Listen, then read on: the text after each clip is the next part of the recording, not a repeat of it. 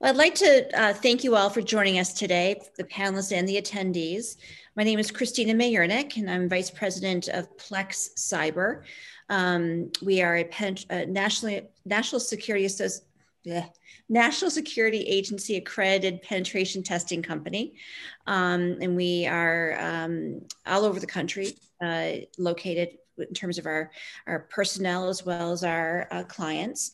Um, and I'm representing the Cyber Association of Maryland today. I'm one of their board members and have been working with Mike and Andrew and Sam on pulling the, the symposium together.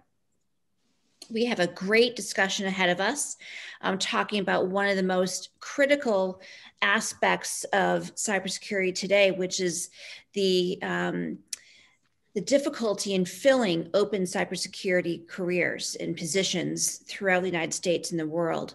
About 50% of the cyber positions are currently going under, unfilled, and it's causing a tremendous impact to the security of our, our country um, and our economy. So we're talking about that about, that today with three of our panelists. Um, we have Andrew Balmos, Kyle Waggoner and Adam uh, Zeanchock from um, Point Three. Um, I'll give each a, a, just a quick introduction and then we'll get into uh, the discussion. That sounds good. Um, Andrew uh, is a data software and engineer at Purdue University College of Agriculture. He's also co-owner of the Qlever. Is that correct, Andrew? Uh, clever, so clever. Oh, we don't know how to say it. Very, very good.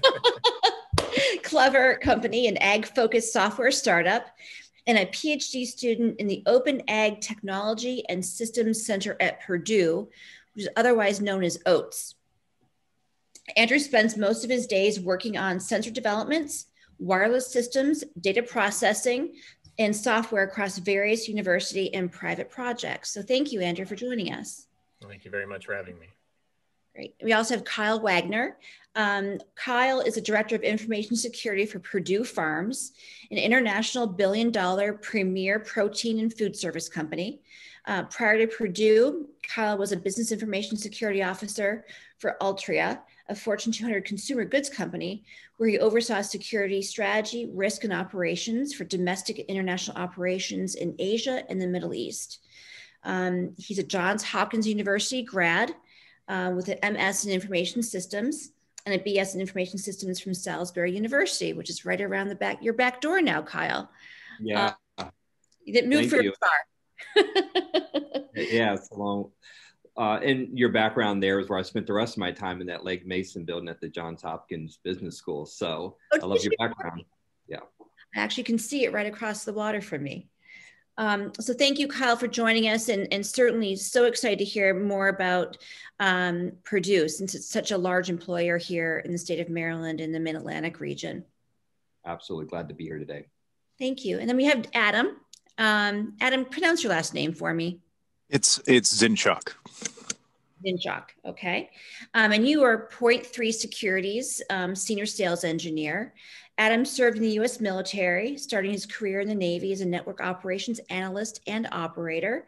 Um, and using his 10 years of operational experience, he's developed practical training content for the Department of Defense and federal law enforcement agencies.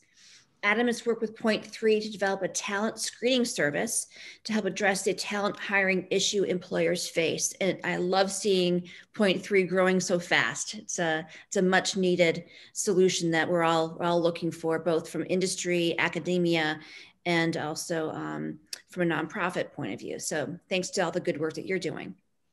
Thank you very much. It's been a it's been a wild ride in 2020, but uh, it's been a great way to see. Uh, how uh, resilient everybody can be. It's amazing, isn't it? That we're all here 10 months later. um, so I wanted to talk, just give a quick op- overview, and then we'll go into the Q and A. Um, so we did hear yesterday in our plenary sessions workforce come up, almost by each one of the of the speakers um, and that you know one of the major threats is really having that that lack of qualified cyber cybersecurity workforce to protect our nation's infrastructure. So today we'll be talking about the global state of cybersecurity workforce and hopefully some practical solutions in combating that and finding a way of, of growing that workforce uh, in order to protect our nation's critical infrastructure.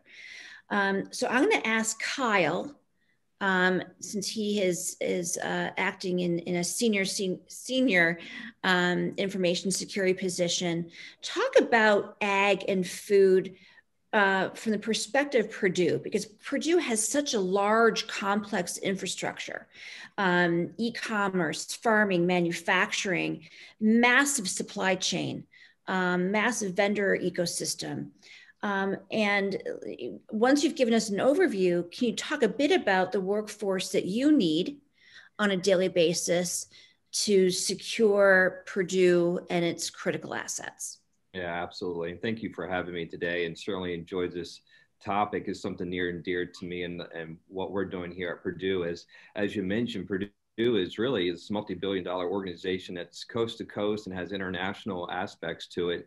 And it's more than just the agriculture and the food. We've made a half dozen acquisitions over the last year and a half. We're not just chicken, we have beef, we have pork, we have uh, grain and exports. We also have new avenues, so not just wholesale, but now direct to consumers, which was timely for what happened in 2020 with our e-commerce. We're also into pet foods as well.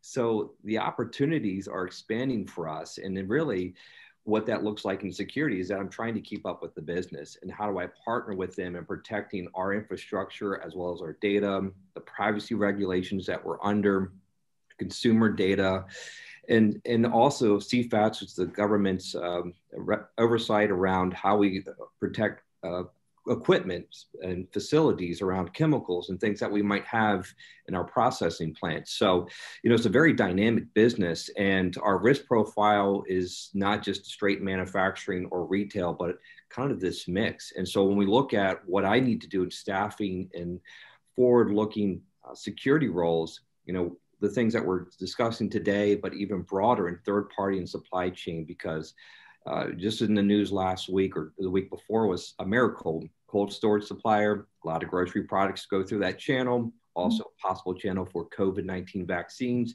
and they were disrupted. And their disruption is, is disrupting other organizations. So, uh, how does a cyber attack in that supply chain go upstream and affect the ones that are dependent on them? And so it's this conversation is very timely for us and glad to be here and share more about what Perdue does. We just celebrated 100 years in 19, you know, starting in 1920 into 2020 and expecting to be another 100 years. And what we started out as, as selling eggs to now being a multi-billion dollar company, it's hard to tell where we'll be in 100 years, but I know cybersecurity is important to maintaining that mission. Thank you, Kyle. It's I had no idea that you were in, that Perdue was involved in so, such a diverse offering of food products, including pet food. How many facilities do you have around the world? We have at least 123 locations within the U.S. And how difficult is it is it from you uh, in your role, you know, ensuring the security of those assets, and then also allowing for business enablement? Yeah, so I mean, it's it's just to make sure I understand the question is so how how is it important for us in securing those locations? Because typically we're very corporate focused. Like what is where's our data center? Where are the majority of our people? But we also know that there's actually more uh, going on down and away from the corporate office, from outside the administration, and we have those plants, feed mills, uh, grain silos. We have infrastructure that is supporting the operations and what I'm seeing in the business is that there's more automation and more technology to provide value. And to do that, they have to be connected to the internet. They have to be able to get data. They're hooking to cloud systems. And for me, that's saying, hey, I need to be there and looking at how we're providing security for this because this is a new concern, a risk it's always been there, but now it's even more important for our focus. So getting beyond protecting what's what I say is the four walls, protecting the things outside our organization or outside the normal data center. And so this is a strategy for us to get get a hold of. So speaking to the workforce issue, you know, you have your corporate infrastructure and your corporate the four wall network, right, and data centers, and then you have those deployed assets. Um, and so you have two unique requirements. You have I, the traditional IT, and then you have IoT and OT. Absolutely. How are you? What is? How difficult is it for you as uh, a large food a producer, and agricultural company, to fill those positions? And and and what type of skills are you looking for? Yeah, so of other folks. Yeah, and so if someone else wants to jump in and tackle this, feel free to jump in. I can tell you for me, we're looking at, uh, and, and, security specifically, backfilling current positions, so the traditional roles, the analysts and engineering roles, to forward filling future roles that we need to maintain this growth, uh, from architecture to uh, engineers and data to IoT specific cybersecurity skill sets. So even more specific than what we have before in these journalist IT security or IT roles. And I think is a challenge for me that I haven't solved and this panel discussion today is, is great to have that conversation of what our approaches are to having to figure out how to solve for that because there's a there's a double-edged sword there's you know it's the recruitment piece of it right there's the internal development piece and it's you know that consistent pipeline that you're going to need as you continue to grow as you've shown even the past couple of years how explosive your your growth has been um, it, it, it, it's it's a tough issue to face. So I'm gonna I'm gonna jump to and um, Andrew. Um, so from your perspective, Andrew, from the university point of view, um, and your current PhD candidate, um, from a an academic point of view, what is one of your or talk to us about what you see as a solution to filling the global workforce issue? Yeah, so I'll take a different perspective. I, um, I'm a PhD student for more years than you'll be willing that I'd be willing to share with anyone here. And part of that is because I've, I've been a full-time staff member for most of that time. So before my current role, I actually taught in electrical and computer engineering. Uh, in engineering, I taught our seniors in our senior design capstone course, and I I am. I'm also out in the middle of Indiana, so my internet is awful. so I hope you can hear me. Uh, I can hear you. So uh, yeah, I, I, don't know uh, if um, I think Aaron Ault, also from OATS, one of my colleagues, uh, joked about uh, broadband, rural broadband. Like, it definitely needs to be part of the conversation because uh, certainly out here in rural we don't have good internet. But um, I think well, I used to teach senior design students, and I would see them year after year go to our, our sort of uh, industry event where, where companies come to recruit and they would all line up to the likes of Microsoft and, and all the big electrical engineering kind of companies. And here we are, we have uh, companies like Case New Holland and a lot of in climate and some of these ag focused companies, which actually have maybe more interesting problems to solve right now because they're just starting to solve them in a large way. You, you, you can go there and make a, a much bigger impact. They don't even know to go stand in the line. Uh, and so I think a big part of you know cybersecurity, it's not just an ag thing. It, it's it, it, crosses a lot of industries. You know, a lot of the problems we see here are not unique to ag. Is starts early on in the education phase where we teach them, hey, just because you're an electrical engineer doesn't mean you have to go work for a company that produces circuits, or just because you're a software engineer doesn't mean you have to go work for a programming company. All these other companies need these talents too.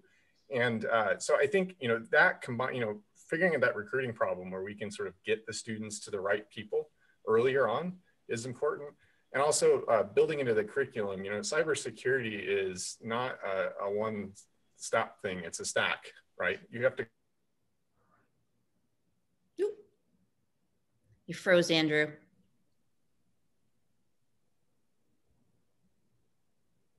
And I think as an institution, we teach uh, students uh, that um, information, or at least a, you know a, a, breadth kind of knowledge of what does cybersecurity mean at all those levels, so mm-hmm. that we mm-hmm. can build products from the beginning.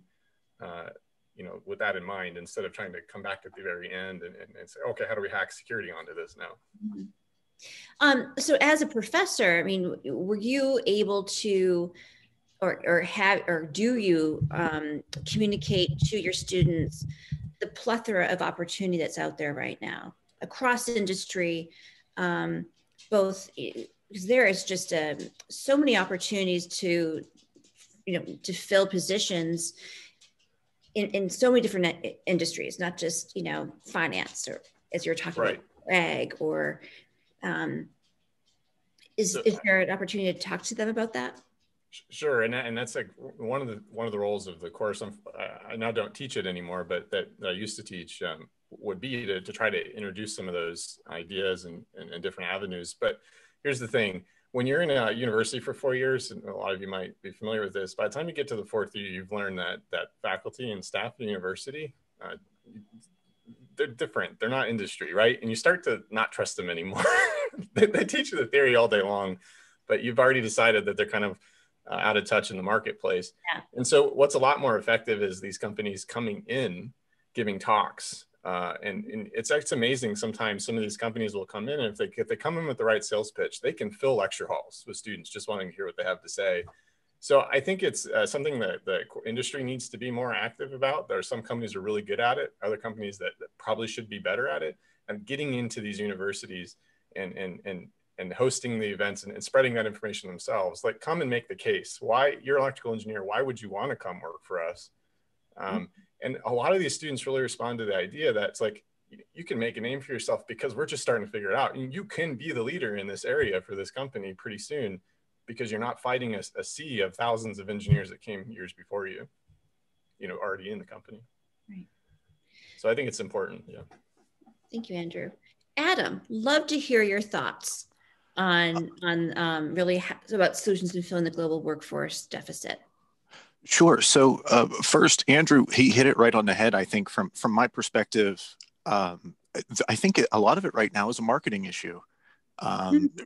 You know, those employers, they they have to put their name out there and say, you know, they're not just you know, uh, Kyle can say, hey, they're not just a chicken company. They make beef, they make pork, they do all kinds of great things but they also need so much more to make that happen.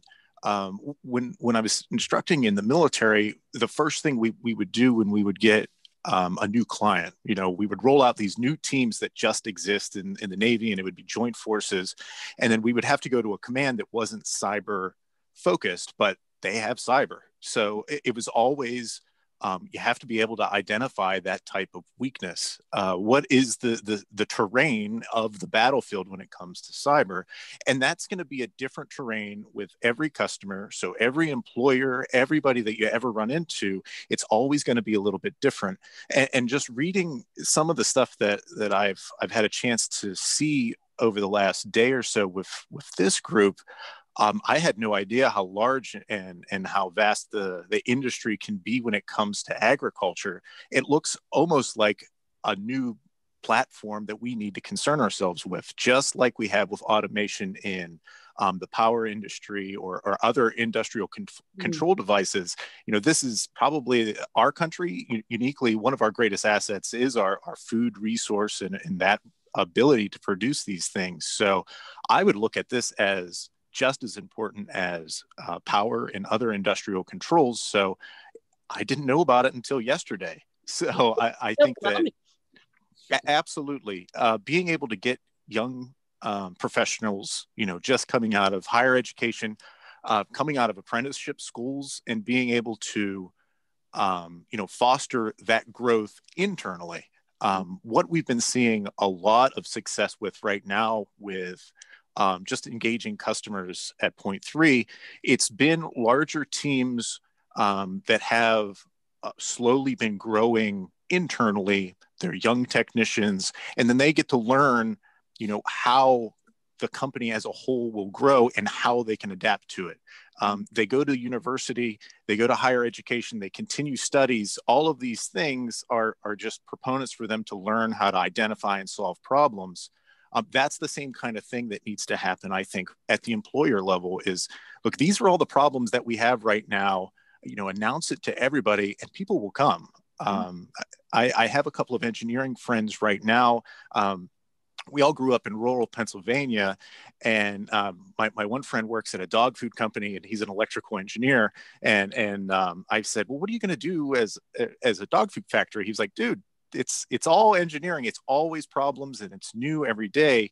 And so it looks like cybersecurity is going to be another one of those things that um, as soon as a new industry happens or as soon as everyone starts adopting these new technologies and these new techniques, we're going to have to expand with it. So it could be uh, you know, I'm looking at the ISC squared stats. I'm looking at where um, current employers are with their employees. You know, you have a lot of guys that stick around for five or plus years, um, and then they're they're kind of the core audience. But then you'll get some younger guys that'll come right out of college, and either they'll they'll stick around with a company that they're they're feeling secure with, uh, and they're happy with, and then they they don't really move anywhere else or or seek out other employment options, especially right now in 2020. Um, a lot of a lot of folks are able to adapt and work remotely, but now they they're kind of stuck in their operational view. So being able as an employer, I think, to to announce to the workforce as a whole, we're not just a chicken company. You know, we're not just this. I think is is the number one concern, because as soon as I go talk to an intermediate uh, you know a staffing agency or something like that you start losing that connection with your empl- employees right away actually you brought up a, uh, something i was i've been thinking about. So you know there we've been talking about the te- sort of the technical requirements of cybersecurity. But there's an entire ecosystem around the technicians that also I, I think has a has a has an image or a, a marketing issue and that's the auditors. It, it's the it's the project managers.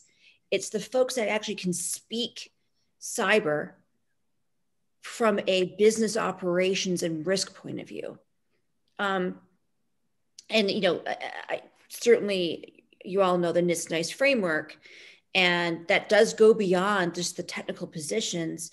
How difficult is it, Kyle, um, for you to hire not only the IT and OT folks? That's that's one one problem set, but then also that that ecosystem that surrounds the, the technicians you know i think for us you know the, the, the greatest challenge is is the more specialty that you require. So if you're looking for the, the journalist or the project manager you know fields or professions that can translate into you know you could be a project manager at a company that's focused in it or one that's focused in you know uh, delivering security and and the, the methodologies can be very similar. But when we look into very unique specialties for example uh, iot there's we have people that specialize in keeping the plants up and running. They know the technology but they don't have the security background. And we'll have the security background but we don't have necessarily the ot background of the, the rockwell or siemens or industrial control systems plc SCADA et cetera. So what we're doing to try to tackle some of those challenges is is bringing those together, those groups together. And for me, as as kind of Adam was saying, is you know you don't have to go to Google or to a Microsoft to get some of this experience. We have it right here. We need those individuals. And the great thing about a company like Perdue is you get those opportunities to do a lot of things, to wear a lot of hats. So you can come in as a security analyst. And if you have an interest in the OT, IoT space, my goal is because of the talent shortage, we're going to continue to develop you, whether through role rotations, getting exposures through that, partnering with a more senior person within the organization, sending you to the SANS training or industry specific training for that for that niche and say, hey, you're going to grow it organically because I don't think I'm going to be able to pull the talent specifically you know, here we are as a, a company that's based in a more rural area. We're not in a major metropolitan area. Given the the COVID concern, uh, people traveling or hiring or coming in and relocating is, is very limited. And so remote workforce opens up an opportunity. It also limits our, our, ability to hire people as well. So we're having to try to do this organically. I think that's one of the approaches. It's not the only approach, but building that internally. And so the traditional roles, to your point, I, I, think have been less of a concern. We can find applicants that have that experience. When you get into a cloud security architect or OT with security experience, and as you say, hey, we need five or 10 years experience, you're just, it's just going to be non-existent. It's going to be so, they're going to be going to the Google or Microsoft and that talent point, talent pool becomes even harder with the unfilled jobs out there. I want one follow on, then I'll move to Andrew and Adam so have you found that your initiative to grow your own, uh, to promote within, to provide the education and the opportunity for that growth, has that been, have you seen an increase in your retention rates? Yes, I think, and, that, and that's, that's, it's not a guarantee. You, there's, I, what I say is that there's a point where you invest that they become the individuals become more desirable outside the organization as well. So as they're getting that training, they're getting their experience. We're looking to say what are the things that we can do to retain talent.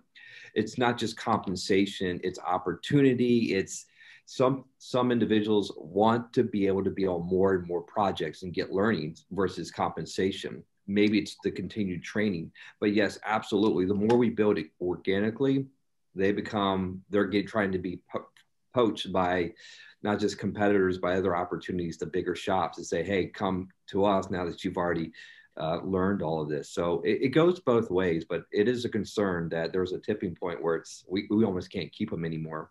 And it just depends on the individual's personal needs and desires. Thank you. So Andrew, I'm going to ask you this question. Um, I had worked at a university in the past, University of Maryland, Baltimore County, um, long, too long ago, probably 10 years ago. Um, and you know, it was really where the emergence was primarily through one of my main clients, which was involved in critical infrastructure. They said to me, Christina, we can't fill enough ICS security roles. And so there was this, you know, pulled together a number of working groups saying, how do we get IT and engineering together to come up with an ICS security curriculum?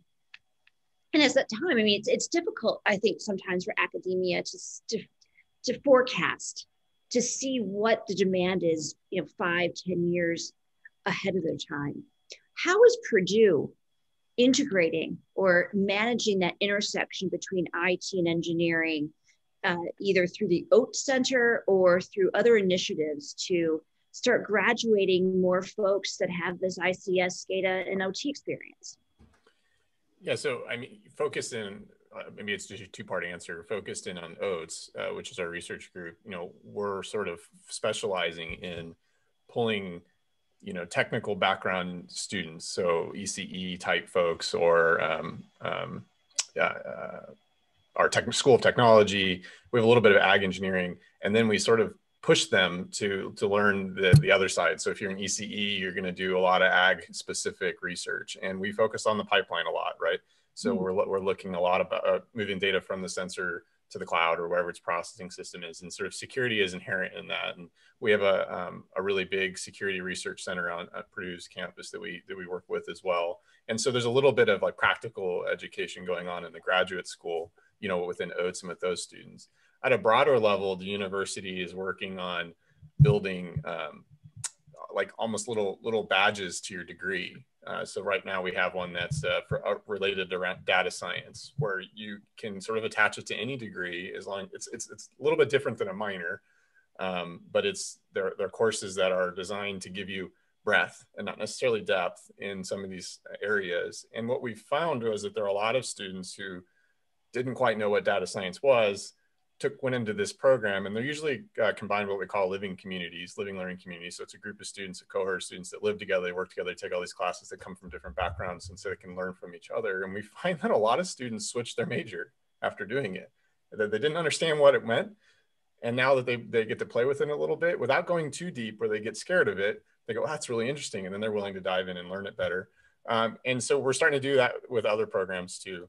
Uh, security for certainly is uh, a big one and we teach it well on the graduate side, but not so well on the undergraduate side. And you're right, it's really hard uh, for the university to predict where to go. And uh, well, and you know uh, from your experience, the university that you know doesn't have one mass that every leader that everyone follows. It's kind of a tug of war of a group of people that yeah. are largely uh, uh, sort of independent and and you know don't really have a reporting structure or a person they report to. And so it's really hard sometimes to steer that. And the clearest way to steer it is outside uh, uh, entities, businesses and funding agencies coming in and saying, hey, we see this need, we need you to do that. Um, you know, that's really Im- impactful, right? You know, for example, Oats is entirely industry funded. Every, all of our, our funding, it comes from uh, companies that have joined the center. And by joining, they get to, to help uh, push what we're working on mm-hmm. and change the direction and that's directly gone back to a program we do in the summer now called REEU, where we focus on ag engineering and technology, the merging of them, data security, data processing, that types of stuff. It all came from industry uh, support and then national funding. But it was the industry that came and said, hey, we need students to do this. Uh, that really uh, set up that uh, sort of, you know, set of dominoes that allowed the money to come in to, to build these programs out. So you know, it, it's a marketing thing. It's, it's getting into the university. It's also being very vocal with the university about what do we need and uh, help uh, identify like what are those specialty programs that, that we need students to come out with. Very interesting.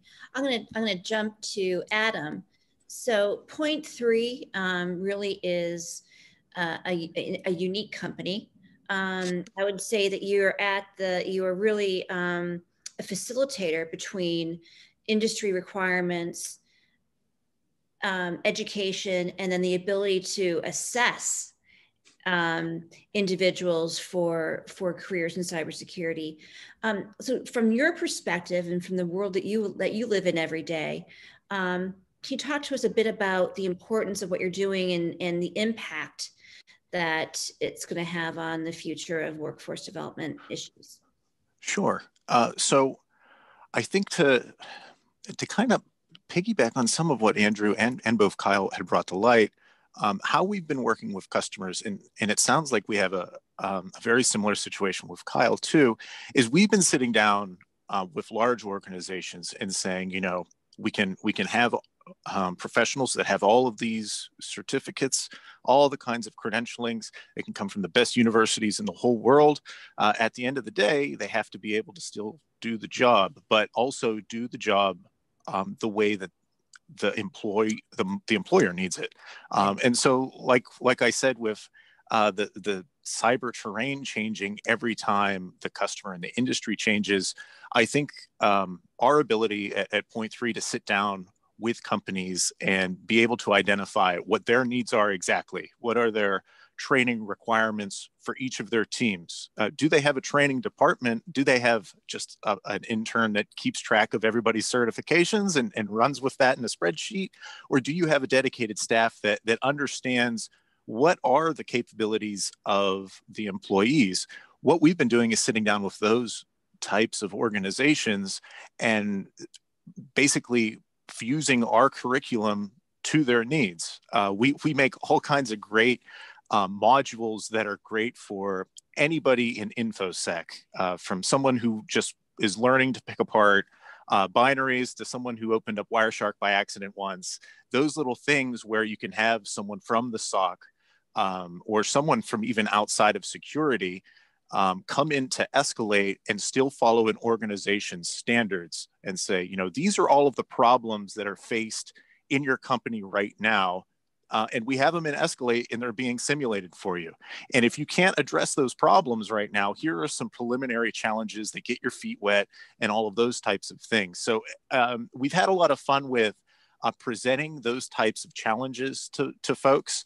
Um, we try not to directly teach lessons or um, go ahead and, and, give out long lectures or slideshows. I think that's best for the universities for, for that kind of stuff. Uh, when it comes to Escalate, we want to make sure that our people are applying those skills and learning um, you know if they do have a methodology um, maybe it's time to adapt because their employer finds those needs and we're the ones that kind of replicate those things. Uh, when it comes to talent screening uh, it's been really really crazy for us the past year. Um, i've basically been been a mad scientist for uh, for point three now with all types of different employers. We had government contractors, we had small private firms. Um, we had a large, large company that was anonymously just sending us users, and we were using Escalate um, to set a standard where we said, all right, we've identified um, your training curriculum that you would need if you wanted to grow your workforce using uh, our platform Escalate. Let's turn the table around. We're going to use those same learning objectives and use those on your job requirements. So what do you want to actually screen for? Uh, and then myself, the rest of my team, uh, we sit down with the training teams, we sit down with the HR, the program managers, uh, and we say, you know, this is what Escalate is going to test for. You come in, um, you can bring in 100, you can bring in 1,000, you can bring in 10,000 candidates. Um, they can come from any and all walks of life. And, and we've seen uh, the demographics over the years for uh, women in security being uh, kind of misrepresentative. So we wanted to be able to take all of that ambiguity out of the way and, and be as objective as possible. Can you actually do the tasks that your employer needs? Uh, and so we've been basically customizing uh, entrance exams and, and, using Escalate as a filter um, for that in hiring process. Do you want to um, have your hr find your top guys your top candidates? Uh, but you have a hard decision. Well we can make a test where we can tell you you know with some really good evidence or just use the uh, the challenges that we have since they simulate the actual scenarios use those challenges as a prompt. Uh, instead of having a panel of your your project managers and your technical leads shooting questions at them actually give them a scenario and and have them write down what they think, what their methodologies are, show their source code. Uh, so we're we're really trying to connect the dots from the the employers. Here are the problems that we see as a whole, generally um, as an employer, and we're trying to fill these gaps. We replicate those issues, and then we become that that filter. Um, no one can get through the other side until you can demonstrate this. Um, and and we've actually tested it a few few times in, in a fun couple of ways. Uh, we had some really, really overqualified guys. We had people with little to no experience and, and see what happens on the other side. And, and a lot of times um, we've had folks that couldn't complete the challenges.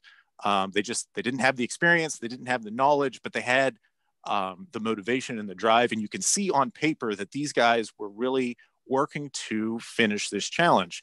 And so maybe they didn't hit the mark 100%, but your technical guys um, and your hiring managers get an even closer diagnosis of what is out there in the market right now. You know if your hr is saying here are 100 guys that we think are right they come through our side of the filter and you're saying well we're, we're still not getting our guys. What's actually out there? What, what kind of talent is available? So we're really trying to help it from all sides and it's been really exciting to see the results. That's wonderful. There are two questions. Um, that I want to cover before we leave. Um, this question from uh, Ewing is specific to uh, Maryland Ag Education, um, but it really goes back to how do we influence K through 12 um, to really take on careers in STEM? Um, you know, it's been discussed ad nauseum, but there really hasn't been a silver bullet um, that that I've seen.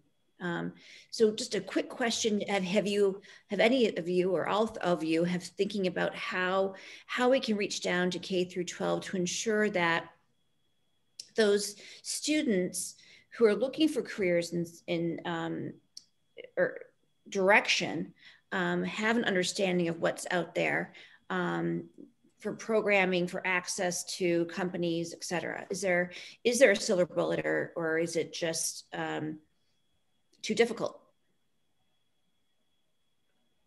Do i see you you you brought your you, you want to add to that based upon your question? So i bring this up because i've done some recruiting. I'm a graduate at college park and done some recruiting over the years. And one of the things we've learned is if you wait until someone's ready to graduate from high school, you're too late. Hmm. You need to start middle school to really have an influence on young people. I come from an education family. My mother and my sister both retired teachers. So, and, and you know, both of my kids are coming back and having an influence on the farm. They're both, you know, out of school. and um, their experience in school was very poor as far as any inclination that you want to be part of agriculture like that was like the last thing they would tell anybody to get involved in. So I think there's a lot of work to be done in the ag community, and I think these types of um, events really bring to the forefront with a lot of people to how important ag is and what the opportunities are. Most employers that are ag companies, and I'm sure they'll tell you they, they get most of their employees outside of ag because there's not enough ag kids that get into ag. Yeah. They're out there trying to find greener pastures on the other side of the fence. And if they would have had a little more guidance when they were younger, um, that experience that they have, my daughter's a CPA at Ernst & Young. I mean, she's invaluable for the ag community someday in the future. But I'm trying to attract ag businesses to Maryland. And, you know, I've talked to big, big venture people, and it's hard to pull them in. Mm-hmm they don't view ag as the premier investment venue. So there's a lot of work to be done. I think there is. Oh, good. Oh, go ahead. I was just say my, my experience is a little bit different only because I'm a I'm at a, a leading ag school, and so you know the few people that do choose to go to ag, we're one of the places they go. But I agree with you that early educate or that early engagement is really important. We do a lot of extension things, but from my personal experience, the reason I got into first or uh, engineering is because of first robotics, because I had that experience of building. Now I didn't get into robotics, but it's where I really discovered, hey, I like this, like building a thing and programming it, making it happen. Um, so I don't know if there's a silver bullet to answer the original question. I think it's like a slew of, of you know, I don't know what the right metal is, but something not as valuable as silver. But I think it's all around experiences. It's really you got to get the students out of the classroom for a little while, get them into doing something related to it. it doesn't have to be exactly the job, but kind of pique their interest and, and, and spread that sort of you know their their view of how big can this be or what opportunities are here. Then when they get to the university they can choose a little bit better what program they will go into. I see far too many people come to the university spend their first two years just trying to figure out what the heck they want to learn and you know for better or for worse when you go to university we hit you right i mean you went to high school class was hard tests were hard you went to university and it's way harder right and if you're not really excited about what you're doing it's really easy to get down on it. And you see a lot of students get stuck in this trap where they, you know, they, they know they feel the program they're in there isn't the one for them. It's a ton of work to switch. They don't know where to go. And, and, and you leave with a degree that you don't really aren't really excited about and you don't have a lot of interest moving forward but, but like you're saying if you just had a slightly different perspective you would see oh there's really a huge opportunity here and i can actually do something that's interesting to me but but but you know like you said if you're in high school senior year or freshman in college it's probably too late, you know, to, to really to really uh, make an impact.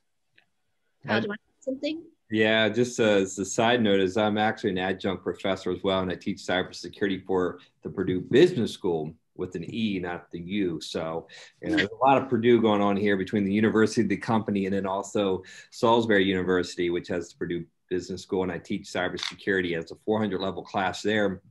And really, it's one of the limited um, probably classes that really exposes them to the cyber aspect and really the demand for jobs and is a way for me to help bring awareness of the opportunities that you don't need to go to you know a google or a microsoft to get a security job. It's, it's right here down the street from you. And and, and i look at it as an, an, an outreach in developing those um, students. And in some case we recruit them. We have internships. I'll share uh, to the point about high school. Uh, several years ago when I was working in Richmond, I would go to the technical high, high school there, and they would have career fairs essentially for the students of potential careers when you leave. Um, where do you want to go? And I would say that you know, as I would have the booth that say, "Here's jobs in cybersecurity," I would we would have it students come to our table and learn more about what we do, but we definitely got overshadowed by the FBI and the the, the healthcare and the doctors and the nurses and, and the engineering. And so it's a little bit of a marketing aspect as well is that students aren't exposed to it. They don't understand cyber. It's it's so uh, ethereal. It's it's it's out there. Maybe see something in a movie and it's gotten a lot better. 20 years when I was 20 years ago when I got into this, cyber wasn't a word that was used. I mean, you might have said computer security or network security, but the role didn't exist. There were no degrees in it at the time. And so I know we've come a long way. We still have a long ways to go. And how do we get further down into the education system to say this is a real career path?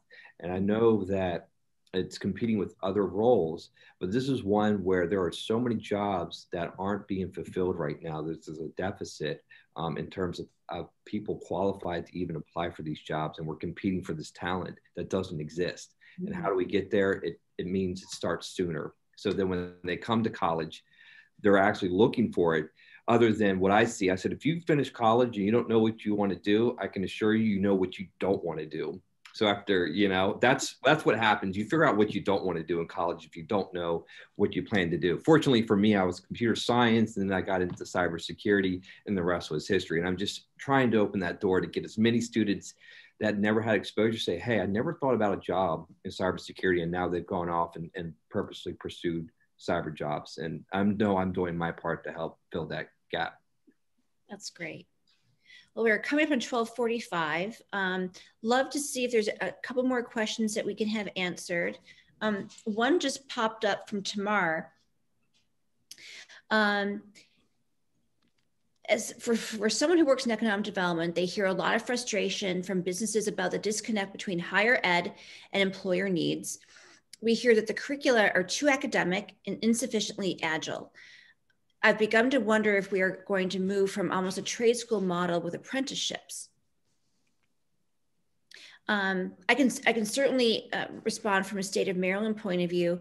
There has been a number of apprenticeship programs that um, uh, that the Department of Labor Licensing and Regulation and workforce development agencies have been trying to work with the National Science Foundation on creating a cyber apprenticeship program whereby it, there will be an intersection between um, employers, academia, and um, really where, where the metal hits the road, what, is needed in terms of that skill set and give practical experience on the job. Um, so dollar, uh, National Science Foundation and the Workforce Development Agencies are, are definitely been working on that, that initiative.